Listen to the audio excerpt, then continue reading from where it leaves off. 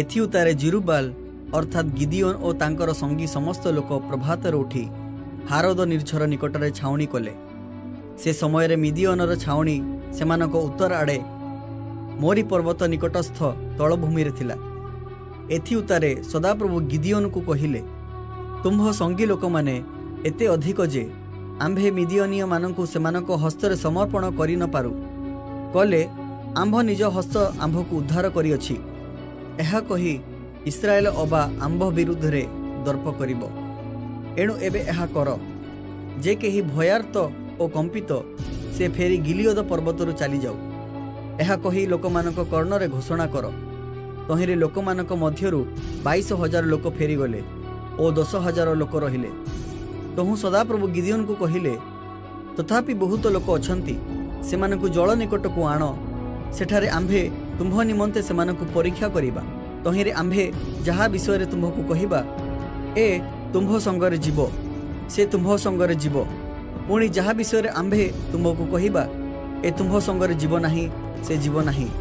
ତେଣୁ ସେ ଲୋକମାନଙ୍କୁ ଜଳ ନିକଟକୁ ଆଣିଲେ ତହିଁରେ ସଦାପ୍ରଭୁ ଗିଦିଓନକୁ କହିଲେ କୁକୁର ପରି ଆପଣ ଜିହୁଆରେ ଚାକୁ ଚାକୁ କରି ଜଳ ଖାଇବା ପ୍ରତ୍ୟେକ ଲୋକକୁ ସେହିପରି ପାନ କରିବାକୁ ଆଣ୍ଠୁ ଉପରେ ନଈ ପଡ଼ିବା ପ୍ରତ୍ୟେକ ଲୋକଙ୍କୁ ପୃଥକ କର। ତହିଁରେ ଯେଉଁମାନେ ଆପଣା ଆପଣା ମୁଖରେ ହାତ ଦେଇ ଚାକୁ ଚାକୁ କରି ଜଳ ଖାଇଲେ ସେମାନେ ସଂଖ୍ୟାରେ ତିନିଶହ ଲୋକ ହେଲେ। ମାତ୍ର ଅବଶିଷ୍ଟ ଲୋକ ସମସ୍ତେ ଜଳପାନ କରିବାକୁ ଆଣ୍ଠୁ ଉପରେ ନଈ ପଡ଼ିଲେ। ତହୁଁ ସଦାପ୍ରଭୁ ଗିଦିଓନକୁ କହିଲେ ଯେଉଁ ତିନିଶହ ଲୋକ ଚାକୁ ଚାକୁ କରି ଜଳ ଖାଇଲେ ସେମାନଙ୍କ ଦ୍ୱାରା ଆମ୍ଭେ ତୁମ୍ଭମାନଙ୍କୁ ଉଦ୍ଧାର କରିବା ଓ ମିଦିଓନୀୟମାନଙ୍କୁ ତୁମ୍ଭ ହସ୍ତରେ ସମର୍ପଣ କରିବା। ଆଉ ସମସ୍ତ ଲୋକ ଆପଣା ଆପଣା ସ୍ଥାନକୁ ଚାଲିଯାଆନ୍ତୁ। ଏଥିରେ ଲୋକମାନେ ଆପଣା ଆପଣା ହସ୍ତରେ ଖାଦ୍ୟଦ୍ରବ୍ୟ ଓ ତୁରି ଘେନିଲେ। ପୁଣି ସେ ଇସ୍ରାଏଲର ସମସ୍ତ ଲୋକଙ୍କୁ ଆପଣା ଆପଣା ତମ୍ବୁକୁ ବିଦାୟ କଲେ। ମାତ୍ର ସେହି ତିନିଶହ ଲୋକଙ୍କୁ ରଖିଲେ। ସେ ସମୟରେ ମିଦିଓନୀୟ ଛାଉଣି ତାହାର ନିଚସ୍ଥ ତଳଭୂମିରେ ଥିଲା। ଏଥି ଉତ୍ତାରେ ସେହି ରାତ୍ରିରେ ସଦାପ୍ରଭୁ ତାଙ୍କୁ କହିଲେ ଉଠ ସେହି ଛାଉଣିକୁ ଓହ୍ଲାଇ ଯାଅ। କାରଣ ଆମ୍ଭେ ତୁମ୍ଭ ହସ୍ତରେ ତାହା ସମର୍ପଣ କଲୁ। ମାତ୍ର ତୁମ୍ଭେ ଯିବାକୁ ଭୟ କଲେ ତୁମ୍ଭ ଦାସ ଫୁରାକୁ ସଙ୍ଗେ ନେଇ ଛାଉଣିକୁ ଓହ୍ଲାଇ ଯାଅ। ଆଉ ସେମାନେ ଯାହା କହନ୍ତି ତୁମ୍ଭେ ତାହା ଶୁଣିବ। ତହିଁ ଉତ୍ତାରେ ଛାଉଣିକୁ ଓହ୍ଲାଇ ଯିବା ପାଇଁ ତୁମ୍ଭ ହସ୍ତ ବଳବାନ ହେବ। ତହିଁରେ ସେ ଆପଣା ଦାସ ଫୁରା ସହିତ ଛାଉଣିରେ ଥିବା ସସଜ୍ଜ ଲୋକମାନଙ୍କ ବାହାରସ୍ଥ ସୀମାର ପ୍ରାନ୍ତ ପର୍ଯ୍ୟନ୍ତ ଗଲେ। ସେହି ମିଦିୟନୀୟ ଓ ଅମାଲେକୀୟ ଓ ପୂର୍ବଦେଶୀୟ ଲୋକମାନେ ବହୁ ସଂଖ୍ୟକ ହେତୁରୁ ପଙ୍ଗପାଳ ପରି ତଳଭୂମିରେ ପଡ଼ି ରହିଥିଲେ। ସେମାନଙ୍କର ଓଟ ବହୁ ସଂଖ୍ୟକ ହେତୁରୁ ସମୁଦ୍ର ତୀରସ୍ଥ ବାଲି ପରି ଅସଂଖ୍ୟ ଥିଲେ। ପୁଣି ଗିଦିଓନ ଉପସ୍ଥିତ ହେଲାବେଳେ ଦେଖ ଜଣେ ଲୋକ ଆପଣା ସଙ୍ଗୀକୁ ଗୋଟିଏ ସ୍ୱପ୍ନ ଜଣାଇ କହିଲା ଦେଖ ମୁଁ ସ୍ୱପ୍ନ ଦେଖିଲି ଯେ ଏକ ଜବରୁଟି ମିଦିଓନୀୟ ଛାଉଣି ଆଡ଼କୁ ଗଡ଼ି ତମ୍ବୁକୁ ଆସି ଆଘାତ କରନ୍ତେ ତାହା ପଡ଼ିଗଲା। ପୁଣି ତାକୁ ଓଲଟାଇ ପକାନ୍ତେ ସେହି ତମ୍ବୁ ଶୋଇ ପଡ଼ିଲା। ତହୁଁ ତାହାର ସଙ୍ଗୀ ଉତ୍ତର କରି କହିଲା ଏହା ଇସ୍ରାଏଲ ଜୟାସର ପୁତ୍ର ଗିଦିଓନଙ୍କର ଖଡ଼ଗ ଛଡ଼ା ଆଉ କିଛି ନୁହେଁ।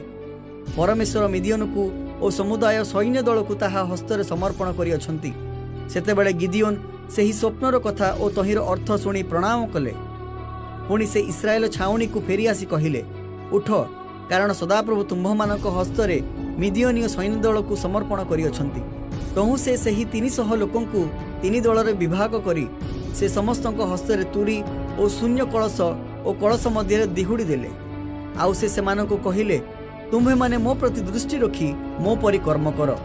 ପୁଣି ମୁଁ ଛାଉଣି ବାହାରସ୍ଥ ସୀମା ପ୍ରାନ୍ତରେ ଉପସ୍ଥିତ ହେଲେ ଯେ ରୂପ କରିବି ତୁମ୍ଭେମାନେ ମଧ୍ୟ ସେ ରୂପ କରିବ। ଯେତେବେଳେ ମୁଁ ଓ ଆମ୍ଭ ସଙ୍ଗୀ ସମସ୍ତେ ତୁରି ବଜାଇବୁ ସେତେବେଳେ ତୁମ୍ଭେମାନେ ମଧ୍ୟ ସମୁଦାୟ ଛାଉଣିର ଚାରିଆଡ଼େ ତୁରି ବଜାଅ।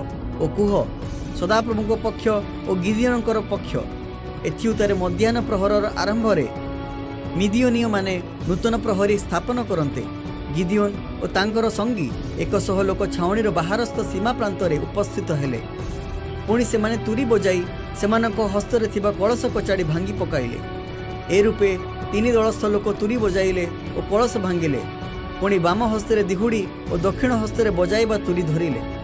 ଓ ସେମାନେ ଡାକ ପକାଇ କହିଲେ ଖଡ଼ଗ ସଦାପ୍ରଭୁଙ୍କ ପକ୍ଷ ଓ ଗିଦିଓନଙ୍କର ପକ୍ଷ।